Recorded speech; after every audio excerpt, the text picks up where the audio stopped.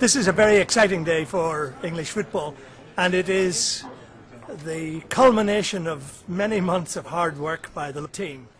You look around at who's here, you see the cream of English football, the fact that we're at the home of uh, English football here. So many people will be pleased and a few will be disappointed. A few will be disappointed. A few will be disappointed. A few will be disappointed. And thank you very much for coming and for your support and encouragement in this project.